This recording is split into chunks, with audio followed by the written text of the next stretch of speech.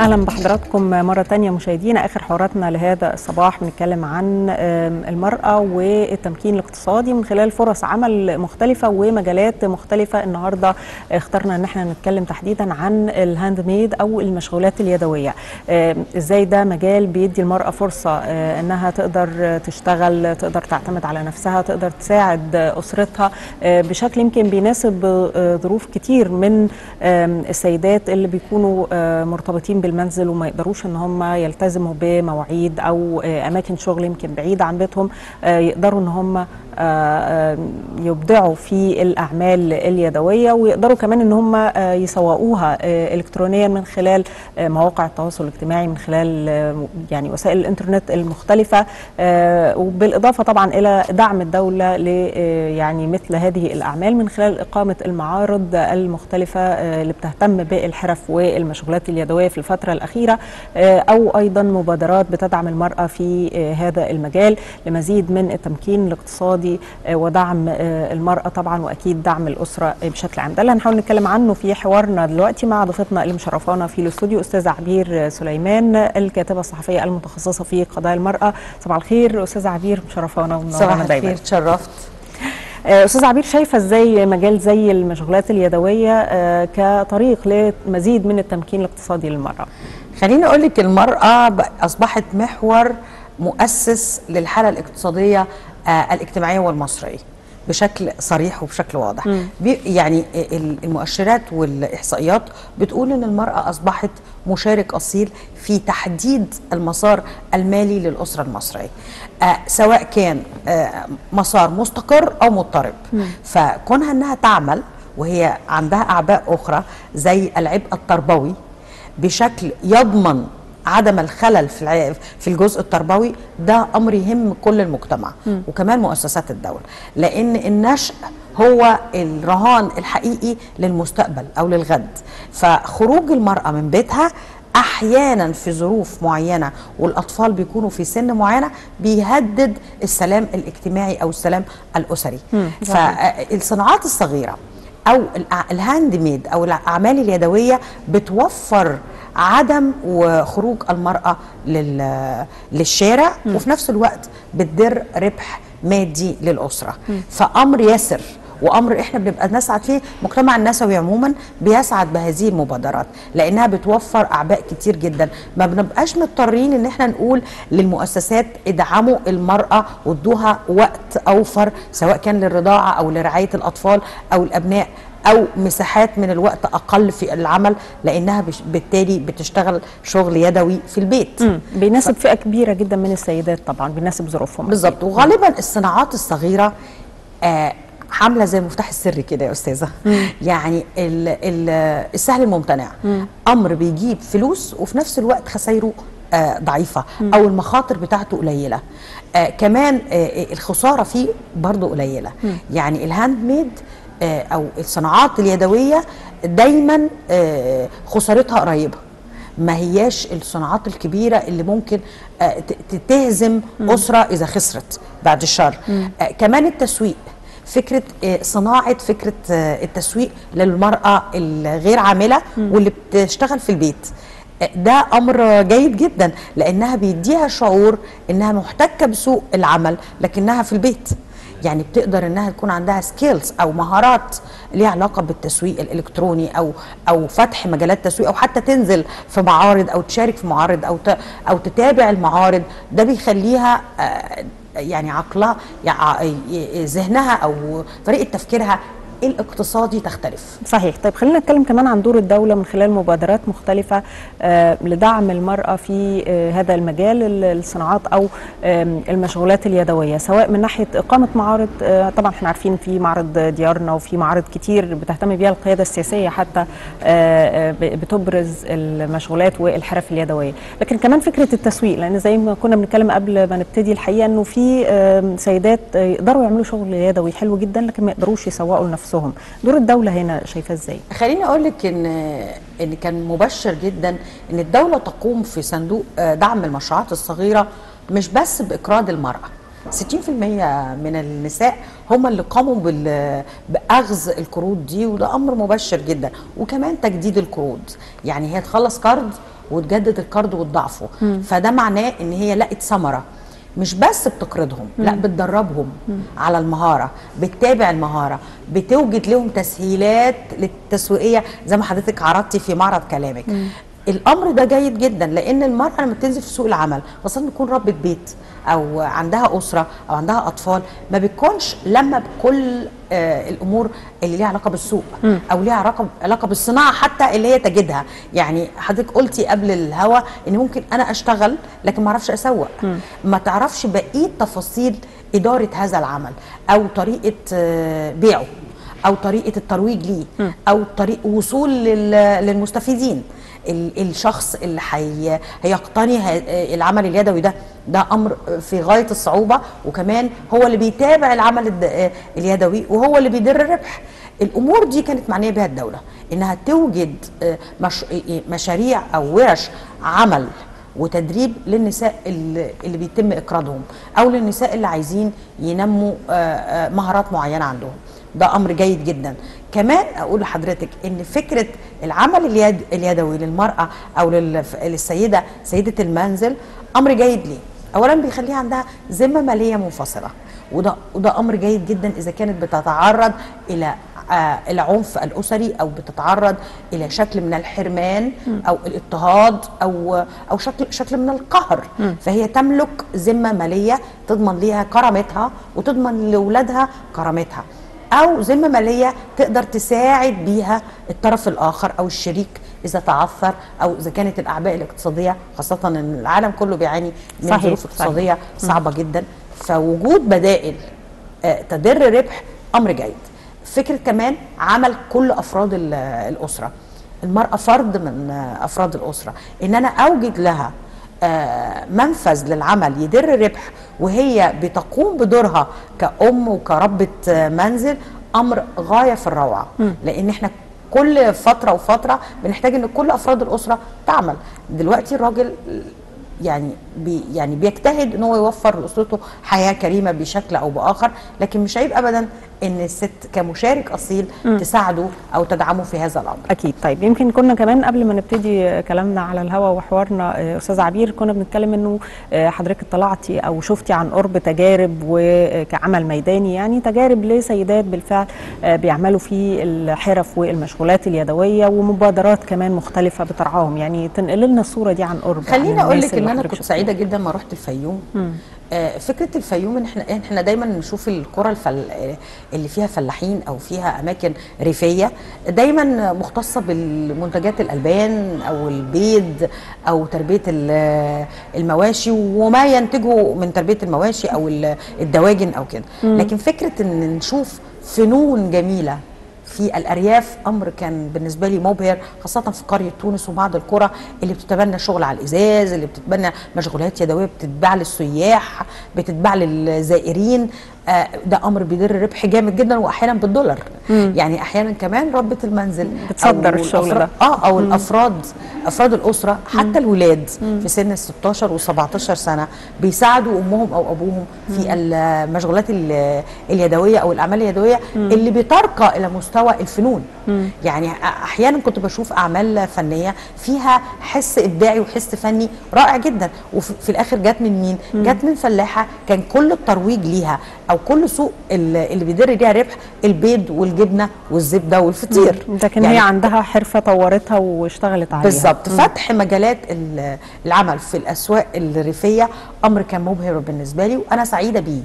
خاصة في الأماكن اللي فيها طابع أثري أو طابع عريق. أو طابع يعني الأقصر أسوان آه، آه، الأماكن الصعيد قنا آه، كل أماكن الصعيد دي لابد أن تكون يعني معمرة وفيها أمر جلي في العمل اليدوي.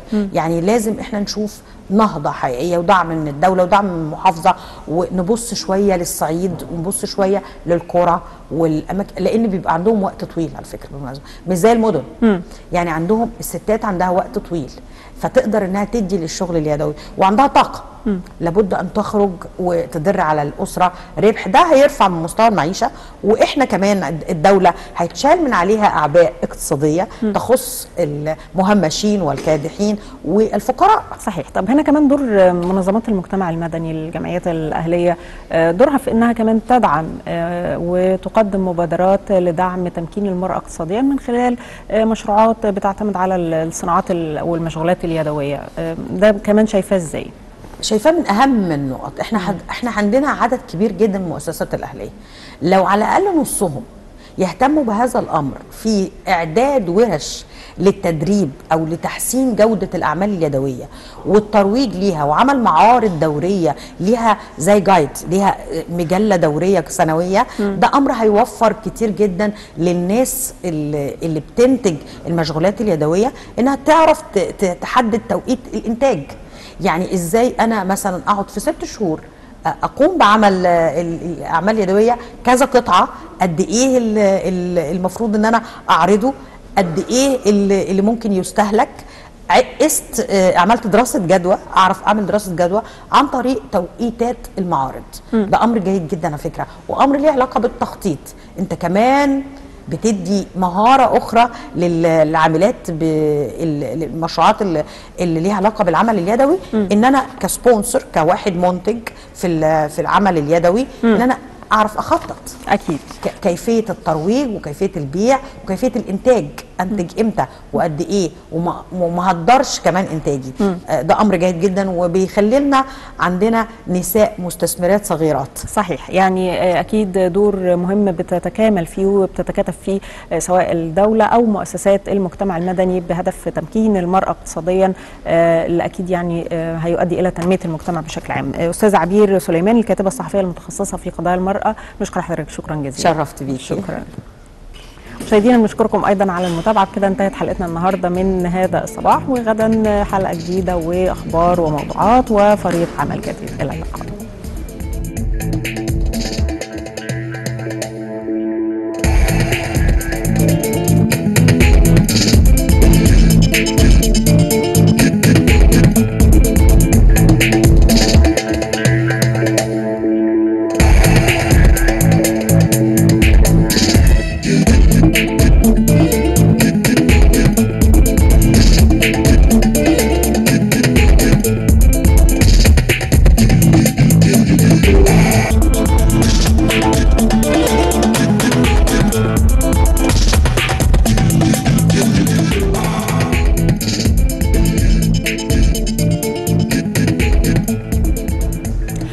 أهلا بحضراتكم مرة تانية مشاهدينا آخر حواراتنا لهذا الصباح بنتكلم عن آم، المرأة والتمكين الاقتصادي. من خلال فرص عمل مختلفة ومجالات مختلفة. النهارده اخترنا ان إحنا نتكلم تحديدا عن ال handmade أو المشغولات اليدوية. آم، إزاي ده مجال بيدي المرأة فرصة؟ آه، إنها تقدر تشتغل تقدر تعتمد على نفسها تقدر تساعد أسرتها آه، بشكل يمكن بيناسب آه، ظروف كتير من السيدات اللي بيكونوا آه، مرتبطين بالمنزل وما يقدروش إن هم يلتزموا بمواعيد أو آه، أماكن شغل يمكن بعيدة عن بيتهم آه، يقدروا إن هم آه، آه، يبدعوا في الأعمال اليدوية ويقدروا كمان إن هم آه، يسوقوها آه، الكترونيا من خلال آه، مواقع التواصل الاجتماعي من خلال آه، يعني وسائل الإنترنت المختلفة آه، وبالإضافة طبعا إلى دعم الدولة ل آه، يعني مثل هذه الأعمال من خلال إقامة المعارض المختلفة آه، اللي بتهتم بالحرف والمشغولات اليدوية في الفترة الأخيرة آه، أو أيضا مبادرات بتدعم المرأة في آه، هذا المجال لمزيد من التمكين الاقتصادي آه، ودعم آه، المرأة طبعا وأكيد دعم الأسرة آه، بشكل عام. ده اللي هنحاول نتكلم عنه في حوارنا دلوقتي مع ضيفتنا اللي مشرفانا في الاستوديو استاذه عبير سليمان الكاتبة الصحفية المتخصصة في قضايا المرأة. صباح الخير استاذه عبير مشرفانا صباح ومنورانا دايما. الخير تشرفت آه، أستاذ عبير شايفة إزاي مجال زي المشغولات اليدوية آه، كطريق لمزيد من التمكين الاقتصادي للمرأة؟ خليني أقول لك المرأة أصبحت محور مؤسس للحالة الاقتصادية آه، الاجتماعية والمصرية بشكل صريح وبشكل واضح. يعني ال- المؤشرات والإحصائيات بتقول إن المرأة أصبحت مشارك أصيل في تحديد المسار المالي للأسرة المصرية آه سواء كان آه مسار مستقر أو مضطرب. فكونها إنها تعمل وهي عندها أعباء أخرى زي العبء التربوي بشكل يضمن عدم الخلل في في الجزء التربوي ده أمر يهم كل المجتمع وكمان مؤسسات الدولة. لأن النشء هو الرهان الحقيقي للمستقبل أو للغد. فخروج المرأة من بيتها أحيانا في ظروف معينة والأطفال بيكونوا في سن معينة بيهدد السلام الاجتماعي أو السلام الأسري. فالصناعات الصغيرة أو ال handmade أو الأعمال اليدوية بتوفر عدم وخروج المرأة لل- للشارع وفي نفس الوقت بتدر ربح مادي للأسرة. فأمر يسر وأمر إحنا بنبقى نسعد فيه المجتمع النسوي عموما بيسعد بهذه المبادرات لأنها بتوفر أعباء كتير جدا. ما بنبقاش مضطرين إن إحنا نقول للمؤسسات ادعموا المرأة وادوها وقت أوفر سواء كان للرضاعة أو لرعاية الأطفال أو الأبناء. أو مساحات من الوقت أقل في العمل لأنها بالتالي بتشتغل شغل يدوي في البيت. مم. بيناسب فئة كبيرة جدا من السيدات طبعا بيناسب ظروفهم. بالظبط وغالبا الصناعات الصغيرة آه عاملة زي المفتاح السري كده يا أستاذة. يعني ال ال السهل الممتنع. أمر بيجيب فلوس وفي نفس الوقت خسايره آه ضعيفة أو المخاطر بتاعته قليلة. آه كمان آه الخسارة فيه برضه قليلة. يعني ال handmade آه أو الصناعات اليدوية دايما آه خسارتها قريبة. ما هياش الصناعات الكبيرة اللي ممكن آه، تهزم أسرة إذا خسرت بعد الشر. آه، كمان التسويق. فكرة آه، صناعة فكرة آه، التسويق للمرأة الغير عاملة واللي بتشتغل في البيت. آه، ده أمر جيد جدا لأنها بيديها شعور إنها محتكة بسوق العمل لكنها في البيت. يعني بتقدر إنها تكون عندها سكيلز أو مهارات ليها علاقة بالتسويق الإلكتروني أو أو فتح مجالات تسويق أو حتى تنزل في معارض أو تشارك في معارض أو أو تتابع المعارض. ده بيخليها آه، يعني عقلها ذهنها أو طريقة تفكيرها الاقتصادي تختلف. صحيح. طيب خلينا نتكلم كمان عن دور الدولة من خلال مبادرات مختلفة آه، لدعم المرأة في آه، هذا المجال ال- الصناعات أو المشغولات اليدوية سواء من ناحية إقامة معارض آه، طبعا إحنا عارفين في معرض ديارنا وفي معارض كتير بتهتم بيها القيادة السياسية حتى بتبرز المشغولات والحرف اليدوية. لكن كمان فكرة التسويق لأن زي ما كنا بنتكلم قبل ما نبتدي الحقيقة أنه في سيدات يقدروا يعملوا شغل يدوي حلو جدا لكن ما يقدروش يسوقوا لنفسهم. دور الدولة هنا شايفاه إزاي؟ خليني أقول لك إن إن كان مبشر جدا إن الدولة تقوم في صندوق آه، دعم المشروعات الصغيرة مش بس بإقراض المرأة. 60% من النساء هم اللي قاموا بأخذ القروض دي وده أمر مبشر جدا. وكمان تجديد القروض. يعني هي تخلص قرض وتجدد القرض وتضاعفه. فده معناه إن هي لقت ثمرة. مش بس بتقرضهم لا بتدربهم على المهارة بتتابع المهارة بتوجد لهم تسهيلات للتسويقية. زي ما حضرتك عرضتي في معرض كلامك. الأمر ده جيد جدا لأن المرأة لما بتنزل في سوق العمل خاصة تكون ربة بيت أو عندها أسرة أو عندها أطفال ما بتكونش لما بكل آه الأمور اللي ليها علاقة بالسوق أو ليها علاقة علاقة بالصناعة حتى اللي هي تجدها. يعني حضرتك قلتي قبل الهوا إن ممكن أنا أشتغل لكن ما أعرفش أسوق. ما تعرفش بقية تفاصيل إدارة هذا العمل أو طريقة آه بيعه أو طريقة الترويج ليه أو طريق وصول لل- للمستفيدين. الشخص اللي هيقتني العمل اليدوي ده. ده أمر في غاية الصعوبة وكمان هو اللي بيتابع العمل اليدوي وهو اللي بيدر الربح. الأمور دي كانت معنية بها الدولة إنها توجد آه، مش مشاريع أو ورش عمل وتدريب للنساء اللي بيتم إقراضهم أو للنساء اللي عايزين ينموا آه، آه، مهارات معينة عندهم. ده أمر جيد جدا. كمان أقول لحضرتك إن فكرة العمل اليد اليدوي للمرأة أو للسيدة سيدة المنزل أمر جيد ليه. اولا بيخليها عندها ذمة مالية منفصلة وده وده أمر جيد جدا إذا كانت بتتعرض إلى آه، العنف الأسري أو بتتعرض إلى شكل من الحرمان أو الاضطهاد أو أو شكل شكل من القهر. فهي تملك ذمة مالية تضمن ليها كرامتها وتضمن لأولادها كرامتها. أو ذمة مالية تقدر تساعد بيها الطرف الآخر أو الشريك إذا تعثر أو إذا كانت الأعباء الاقتصادية خاصة إن العالم كله بيعاني من ظروف صحيح. اقتصادية صعبة جدا. فوجود بدائل آه، تدر ربح أمر جيد. فكرة كمان عمل كل أفراد ال- الأسرة. المرأة فرد من أفراد الأسرة. إن أنا أوجد لها منفذ للعمل يدر ربح وهي بتقوم بدورها كأم وكربة آه، منزل أمر غاية في الروعة.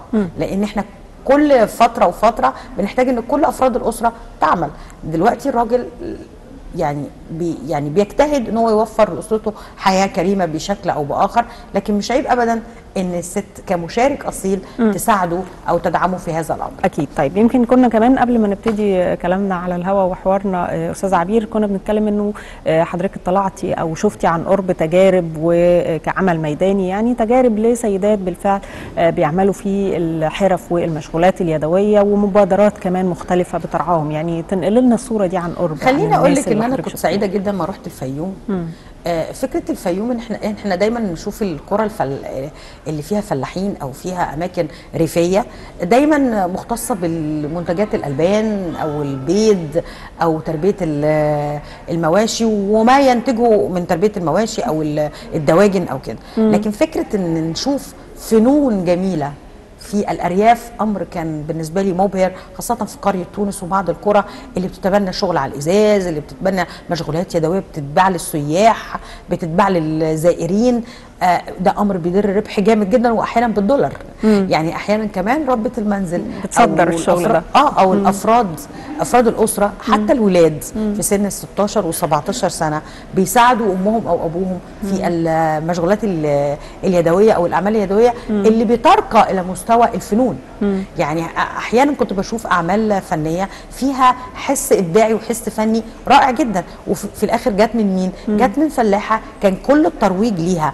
أو كل سوق ال- اللي بيدر ليها ربح البيض والجبنة والزبدة والفطير. لكن هي عندها حرفة طورتها واشتغلت عليها. بالظبط. فتح مجالات ال- العمل في الأسواق الريفية أمر كان مبهر بالنسبة لي وأنا سعيدة بيه. آه، خاصة في الأماكن اللي فيها طابع أثري أو طابع عريق أو طابع يعني الأقصر أسوان آه، آه، الأماكن الصعيد آه، كل اماكن الصعيد دي لابد أن تكون يعني معمرة وفيها أمر آه، جلي في العمل اليدوي.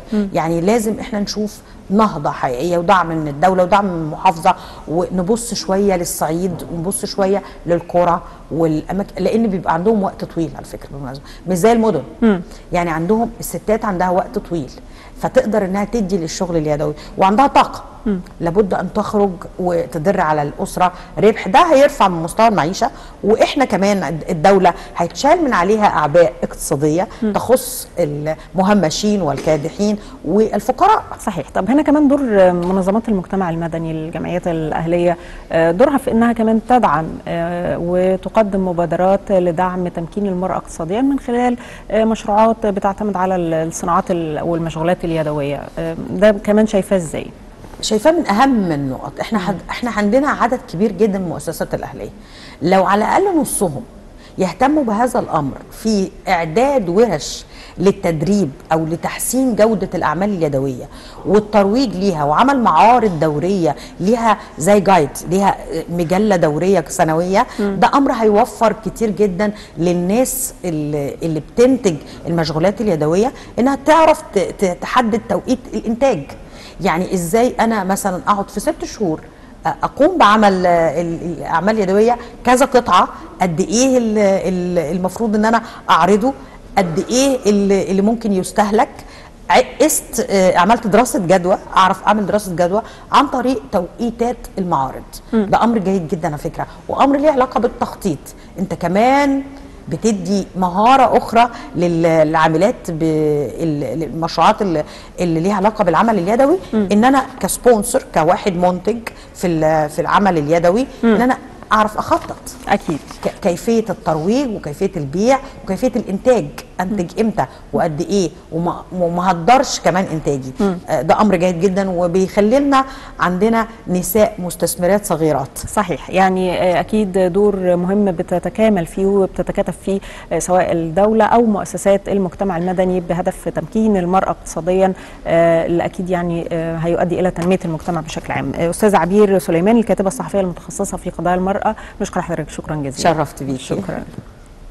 مشاهدينا بنشكركم أيضا على المتابعة. بكده انتهت حلقتنا النهارده من هذا الصباح وغدا حلقة جديدة وأخبار وموضوعات وفريق عمل جديد. إلى اللقاء.